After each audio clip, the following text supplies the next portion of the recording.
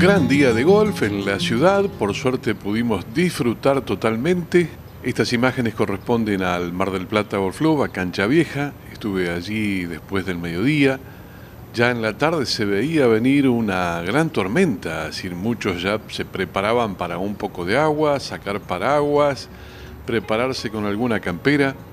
Había una gran cantidad de jugadores en el campo de juego, algunos truenos, muy pocos. Daniel Viejo en el tee brindando sus clases. Torneo Costa Galana Golf, eh, un forbol en, en cancha vieja, medal en cancha nueva, sacada de la banca allí en el 18.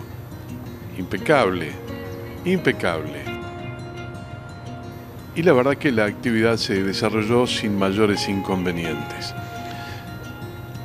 Me sorprendieron los teros escondidos allí en el, en el búnker protegiéndose y también descubrí el búnker, la verdad, como un pisadero. Y observé que los, los, los rastrillos obviamente estaban, pero todos los bunkers. ¿eh? Me sorprende enormemente el poco cuidado que se le está brindando a ese tema. Por parte de los jugadores me refiero, ¿no? Porque obviamente esto afecta a todos, a todos por igual un angelito parecía que pasaba detrás de las lavandas y allí estaba, entre otros detalles que fui observando, Carlos Melara. No me había observado. Yo estaba grabando los bunkers, lo vi, después las plantas, el pajarito, como siempre lo hago, y me descubrió. Y entonces me acerqué a él para conversar unos minutos. No, ¿qué va a hacer? No se te... ¿Cómo que no va a tener piernas? Estás en tu casa con este paisaje acá increíble, ¿eh? No, no va a ser macana. No, no, no hago ninguna macana. Digo que estás en tu casa practicando un poquito el patingrín, se viene la tormenta. Todas las canchas son la casa del golfista, así que es un lugar lindo para estar el golf. Siempre equilibrado, él no, no, todas son lindas. Sí, sí, en cada, cada club es una bendición para el que puede ir. ¿Encontraste el palo? No, lamentablemente Contale a la gente qué es lo que perdiste. Bueno, es, es un palo que me acompañó muchos años. Este, es un exploder de los pesados, aquellos famosos de la época. Y infelizmente me lo olvidé al borde de un green. Y bueno, lamentablemente se ve que no fue nadie del club el que lo recuperó, ni un empleado, ni un socio, ni nada estaba, estaba jugando en acantilados. Estaba en acantilados. Y en el atardecer, viste que era siempre. un atardecer y había alguna gente de afuera que busca pelotas, qué sé yo. ¿Qué marca es? Es un boss, es un fuera de, Limi, no es una edición normal. 56 eh, pesado. Si alguno, se, lo, si alguno se lo quiere inventar, es de Carlitos Melara. No, se lo compro yo en todo caso, porque, el cuero. Claro, porque es, es, un, es importante para vos, muchos años, y aparte una herramienta que... Del año 78. Del 78. Me acompañó en la cantidad de años de una buena competición que tuve, fue ese mi palo de, de bunker y approach. Y es una herramienta que está acostumbrada a vos. Sí, es una cosa que uno lo agarra, uno tiene dos o tres o cuatro y los va tanteando y los va rotando, pero ese siempre estaba ahí. Está bien y ahora no está más, lamentablemente. Pero bueno. Recuerden que el, boss es de, es de Carlitos y, hay que recuperarlo. Eso, eso, eso sería lindo, volver sería, Sería maravilloso. Bueno, gracias por hacerme acordar y, y de repente si alguno sabe, lo encuentra, como no, lo voy a compensar con todo gusto. No tiene un valor económico porque un palo muy, muy, muy viejo, fuera de época, pero para mí es muy importante por lo que representa y los recuerdos que me trae. Algunos buenos y otros no tanto. Bueno, normalmente quien anda por las canchas de golf escuchando que están buscando, que no están buscando, quizás parece. Sí, ojalá, ojalá y yo lo voy a recompensar, porque a veces, este, bueno, eh, yo también no tuve palo. cuando no tuve palo, tener un palo parecía que era tocar el cielo con las manos, capaz que algún chico que lo tiene y lo está usando. Seguro, este, por ahí yo lo cambio por otro. Qué bueno. Se lo doy. Bueno, espero, vamos a poner una ficha que va a aparecer. Me encantaría.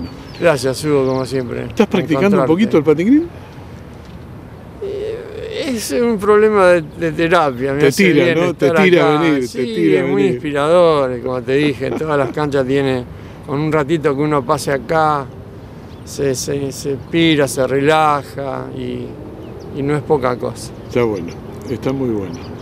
Me alegra, estás eh, obviamente con el tema del torneo de Guillermo Ibáñez, seguramente. Sí, bueno, por suerte este, vamos a poder cerrar con la 30 edición por el 9, y 10 y 11 de diciembre, así que esperamos convocar a todos los muchachos. Se juegan acantilados. Se va a cerrar en acantilados. Bien, 30 años. 30 años. Ha pasado el tiempo de esta lamentable sí, noticia, ¿no? Sí, fue, fue durísimo, pero también este, el, pensar que lo recordamos, que nos juntamos, que vienen las anécdotas, que vienen los recuerdos, es, es también reconfortante. Así que lo vamos a hacer con cariño. para todos, para los jugadores, para la familia. están todos, todos invitados. Bárbaro. Por supuesto, vos, Hugo, en primera fila siempre contamos con vos, te agradecemos el apoyo en estos 30 años. En estos 30 años del torneo siempre estuviste presente, en toda circunstancia y situación. Es que era un gran tipo. y por la buena gente uno tiene que estar siempre acompañando. ¿eh? Es verdad, y vos lo has estado de muy buena gana, así que seguro, muchas gracias. Seguro, seguro, lo llevo en el corazón ahí. Adiós, amigo. No lo molesto más. No, lo dejo seguir tranquilo antes que se venga el agua. No me deja de sorprender, esto no estaba planificado para nada. Y, y bueno, vos sacás jugo a las piedras. Tenemos pendiente una charla para que hablemos un poco de la casilla, porque ese es un tema que tiene, encierra muchísima historia y vos la viviste.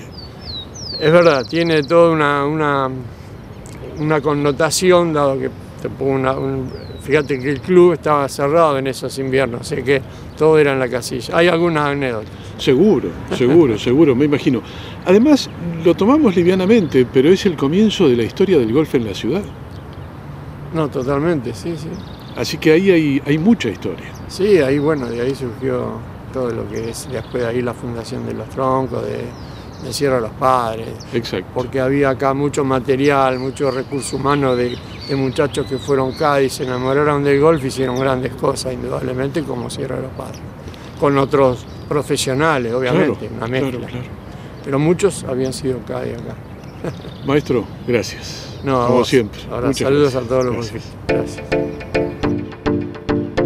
Algunos jugadores iban rumbo al 1, otros iban cruzando ya para el 18.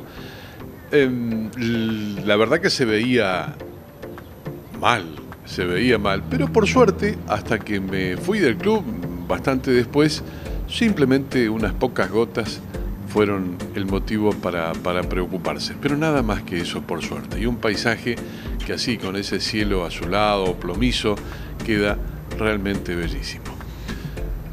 Así se vivió parte de lo que fue la, tarde de juego del torneo Costa Galana en el Mar del Plata Golf Club. Con estas postales siempre de nuestra ciudad, desde esta cancha maravillosa que es Cancha Vieja, les mostramos cómo está Mar del Plata. Siempre linda para visitarla.